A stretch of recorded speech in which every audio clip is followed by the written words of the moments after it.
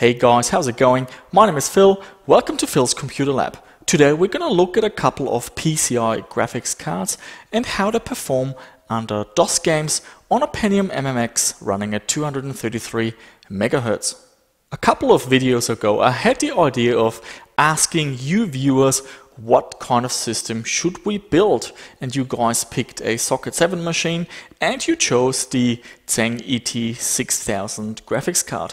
However, I have listened to your comments, so what I'm doing now is going over those cards that unfortunately did not get picked and we're gonna have a look at how they perform against the Tseng ET6000 that we did end up using.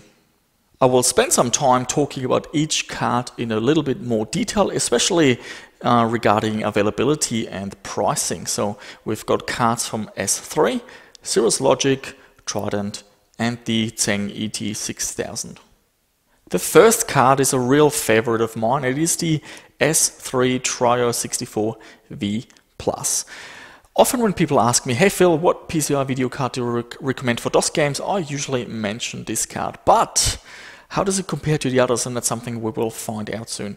Now, in terms of availability and pricing, uh, do keep in mind that this is from uh, Australia. So looking at eBay US, you might actually find cheaper prices. But what I found is that this card is really easy to find. You just type in the model number and you should get a lot of options with buy now prices. And you're looking at around uh, between 20 and 30 Australian dollars. So not too expensive and readily available.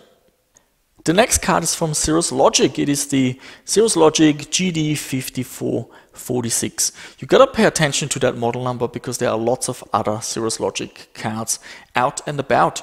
Availability is fairly good. You should not have a hard time finding this particular model. In terms of pricing, between 20 and 40 Australian dollars, so a little bit less common than the S3 cards, and also a tiny bit more expensive, but still very easy to find and still very affordable. The next card is from Trident. It is the TGUI 9680-1. Now, looking on eBay, you will find quite a few PCI Trident cards. However, to find the one with this model, the cheapest I found on eBay Australia was actually 45 Australian dollars. So that is a little bit of a concern. We will look at the performance later and see if it makes sense to go with the Trident. And the last card is the Tseng ET6000. This is the graphics card that you guys voted on and that we've used for all the recent benchmarks. But now it's time to find out how it compares against the other cards. Having a look on eBay Australia, these cards are available, but prices can get quite out of hand. The cheapest one I found was 45 Australian dollars. However, the next cheapest one was 80 and after that $250. So the Tseng ET6000 is a, is a little bit of a collector's item, especially um, because of these unique memory chips. It has a very cool look and it, it is kind of one of the last uh, Tseng cards. I think there's a 6100 but so yeah, if you're looking for this card, be prepared that you might find it a little bit harder to obtain and that you might have to spend a little bit more money. One other tip I'll give you when looking for a graphics card is to watch out for these memory sockets. You, very often cards have memory chips soldered onto the PCB and then some of them have extra memory slots that usually allows you to upgrade from 1 megabyte to 2 or something like that. So do pay attention if the memory sockets are empty. I personally I would not buy the card. These uh, memory chips can often cost quite a bit. So do look for a card that has the memory sockets filled or at least take that into consideration when you're comparing the prices. It is usually cheaper to pay a little bit more and get a card that has all the memory already upgraded rather than getting one that has empty sockets and then having to hunt down those particular memory chips. Okay, time to look at some benchmark results. Here we've got the specifications of the test setup. It's based around the Cyrix 6x86 video project we did a couple of weeks ago. First up we have 3D Bench 1.0C. The Tseng card is in front with 183, shortly followed by the S3 with 176 and the Cirrus Logic with 174. quite a distance behind the rest is the Trident with only 122 frames. In Chris's 3D bench we see the same thing, the Tseng is in front, followed by the S3 and then the Cirrus Logic and the Trident with quite a distance behind the pack. In the PC Player benchmark at 320 by 200 all the cards are a lot closer to each other. The Tseng is in the front, but the S3 and the Cirrus Logic are tied with 57 FPS. And once again, the Trident quite a far behind with 47. In games, the Tseng is not the fastest card anymore. Cirrus Logic dominates the Wolfenstein 3D benchmark, followed by the S3 and then the Tseng card. And once again, the Trident is also slower in games. We can see the same picture in Doom, the Cirrus Logic takes the lead with 99 frames per second. Then we've got the S3 card and then the Tseng card. And a little bit behind, not as far as uh, in the other games, the Trident with 87 frames per second. In Quake, the Tseng card is once again the fastest performer with 52 FPS. However, the S3 and the Cirrus Logic cards are only one frame behind, and once again the Trident being the slowest card. At 640 by 480 resolution, things get very interesting. We have another graphics card in here. Well, it's actually the same graphics card. So if we look at the two scores for the S3, there's the uh, first result uh, at the bottom with only 31 FPS, and that's the S3 card without any software. And I was shocked. Um, I didn't know that the S S3 card struggles at that resolution, and I tried actually two cards and I got the same results. Now I did a bit of search on searching online and you actually need to load a little driver. It's the S3 VBE and that loads, loads some uh, VESA extensions and basically speeds up the card under 640 by 480 and then the card is actually the quickest uh, getting 51 FPS at Duke Nukem 3D at 640 by 480 followed body Tseng card with 46 and then we've got the Cirrus Logic tying with the Trident at 41 FPS. So if you got an S3 card and you're playing games at 640 by 480 definitely you should be running the S3 VBE driver. I will put a download link down below in the, in the description. In Descent 2 there's not much to look at, all the cards getting 36 FPS. Only the S3 card, card if you don't have the S3 VB driver loaded, it will only give you 27 FPS.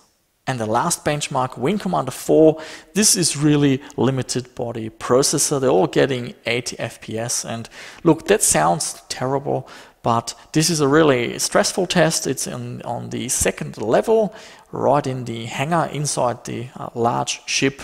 And this is really the worst case scenario. As soon as you leave the ship, you will get the full uh, 24 FPS. So in this benchmark, they're all getting 8 FPS, heavily limited by the processor.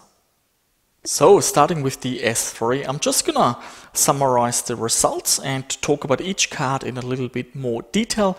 And then at the end, I'll pick my favorite card that I think represents the best choice in terms of, terms of overall performance, pricing, compatibility, and cost. In benchmarks at 320 by 200, the S3 is pretty much the second fastest card, just a little bit behind the Tseng ET6000. In actual games running at 320 by 200, it is also pretty much the second fastest card in all the benchmarks, behind the Cirrus Logic and the Tseng card depending on what game you're playing. It was only after loading the S3 VBE driver that the performance was competitive. Unfortunately, that driver does consume 4 kilobytes of memory. However, with the driver loaded, the S3 card is the fastest performer at 640 by 480 in Duke Nukem 3D. A lot of these cards output the wrong black level and that manifests in having when you turn on the machine instead of a nice black background with the font in white you will have a gray background now there are solutions uh, I'll put down in the description a link to Vogons a couple of uh, Vogon's members have found ways around it, but still, that's now two issues that you need to deal with. The performance issue at 640 by 480, which you have to load the driver for, and the VGA output. So I'm quite surprised. Um, that might change my uh, recommendations going forward if people ask me what video card I do recommend. But apart from that, this is still a very decent card, performs well, is very compatible, and it is likely the easiest card to find at a good price. There are a lot of these out there. Next up is the Cirrus Logic card. Now this card doesn't really do anything wrong, so let's have a look at the performance. In benchmarks, it is not the fastest card. It is usually at the third place, just behind the S3 and D10.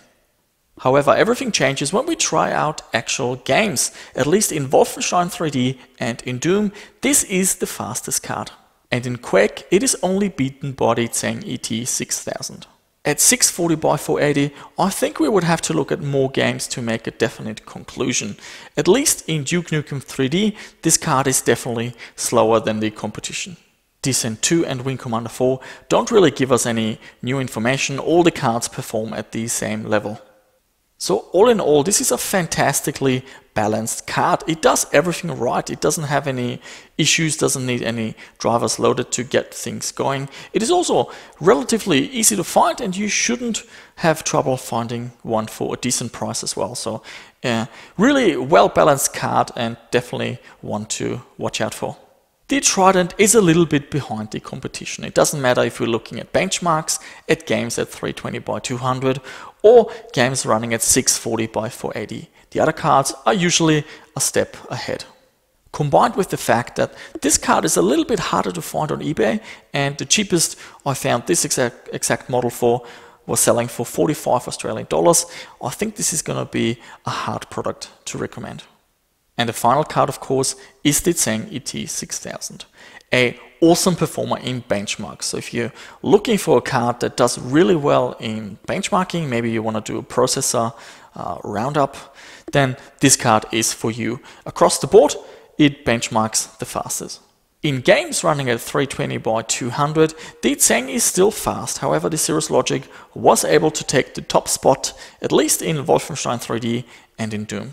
In Quake, however, this is the fastest card, beating the S3, Trident and the Cirrus Logic. At 640 by 480 resolution, this is also a very decent card. Now in uh, Wing Commander 4 and in Descent 2, all the cards perform at the same level. However, in Duke Nukem, this is the second fastest card. It is only beaten by the S3. Availability and pricing is the real concern for this card. You will struggle finding one and you will likely have to spend a little bit more money. Although I was able to find one card listed at 45 Australian dollars, the second cheapest price was $80 and then it jumped straight to 250. So this will be a card that you might have to put on the search list and just wait a few weeks to see if something uh, appears at a decent price. Okay, time for the final conclusion. We have a really good idea of where all these cards are at. Let's start with the Trident. To be honest, this is not a card I will likely recommend. In terms of performance, it's behind the competition in pretty much every way. Next up, we've got the Tseng ET6000. If the prices were lower, then this would definitely be a recommendation. Unfortunately, you will have to pay a premium and you're not really getting anything. So uh, unless you just want something for benchmarking, you know, imagine you're paying uh, $50 for such a card and you're not really getting extra performance. I think the only game where this uh, graphics card was faster than the other cards was in Quake. So look, if you're playing Quake and you want that few extra frames, maybe this is the card for you. But otherwise, um, I'm finding it difficult to, uh, to recommend this card as an overall package. So that leaves us with the S3 and the Cirrus Logic. Now initially my thoughts was I will definitely going to recommend the S3 card, but because I tested all these benchmarks and I ran into some issues, my opinions have changed a little bit. Look, if you just want to buy a graphics card and you don't want to muck around with drivers and you want something that is fast, cheap, easy to find and gets the job done, my recommendation is the Cirrus Logic. I still think the S3 is a decent card for its compatibility and decent performance in most of the benchmarks uh, at 320 by 200.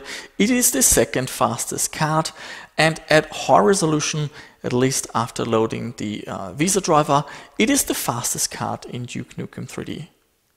However, having to load a VESA driver for 640 by 480 games is a little bit annoying, especially losing 4 kilobytes of memory. But even worse is the issue with the VGA output. There is no way of telling by looking at an eBay auction if your card has that issue or not. I've got around four cards of these and two cards have the issue, two cards don't. So there is really no way of telling. You'll only find out when the card arrives and you use it in your computer. So there you have it. The S3 did disappoint me a little bit and that's why I recommend the Cirrus Logic Foremost because it does everything right, it performs well, it is compatible, it doesn't have any issues, it's uh, reasonably easy to find and you should be able to get it at a fairly cheap price. And that's it for this video guys. Thank you for watching. As always, please subscribe to my channel if you haven't done so. Hit the like or the dislike button, share the video and leave me some comments down below. Next week we will look at another Cyrix processor, this time a high-end chip. Will it be able to go toe-to-toe -to -toe with the Intel or will it fall short just like the 686 that we used in a previous video?